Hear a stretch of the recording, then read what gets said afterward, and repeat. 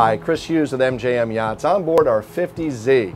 I'm here with Jim McGowan from Raymarine. He's going to walk us through some of the cool new features on their charting systems. Jim, welcome aboard. Thanks, Chris. So the system we're looking at here is a Raymarine GS series. This is our flagship navigation system. And we know one of the things that MJM owners really like about GS series is its flexibility. Dual Raymarine GS series displays are featured on the MJM 50Z to display electronic charts, radar, thermal imaging, and engine data. These new Raymarine GS series displays are intuitive and as simple to use as your smartphone. Simply touch and drag your finger to move the chart. Pinch or spread two fingers like a set of dividers to change the scale of the chart. Wherever you touch the screen, that marks the cursor. Bob Johnstone customizes the upper data bar with quick navigation info such as range and bearing to cursor, course over ground and speed over ground, time, and latitude longitude. But there's even more. If you slide your finger down the touchscreen, a second data bar appears for handy visual data on all three engines. On Bob's 50Z, he set it up to show on his port display engine RPM and economy, coolant temperatures, and on his starboard display engine oil pressure, log information, and transmission oil pressure. MJM supplies Raymarine NOAA raster charts for the entire United States.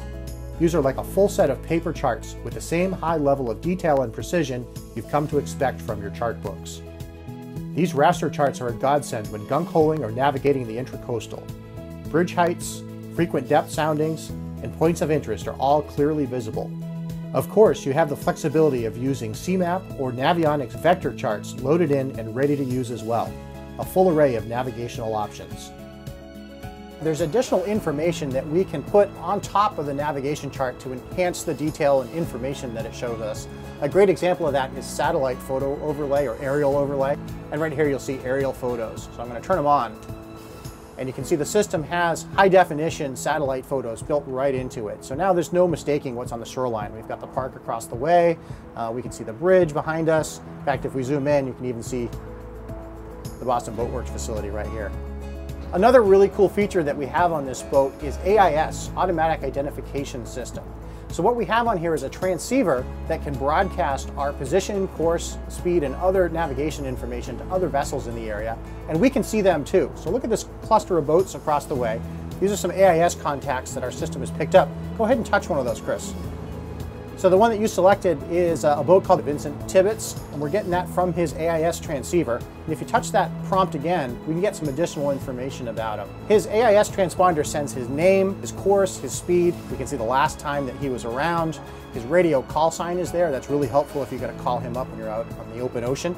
We can see his length, his beam, his draft, all sorts of information. So it really enhances your situational awareness and your safety out on the water.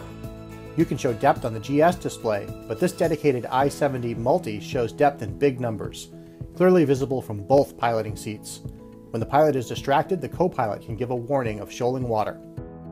We hope you all enjoyed Jim McGowan from FLIR taking us through some of the features of the Raymarine charting system on our MJM Yachts 50Z. Thanks for watching.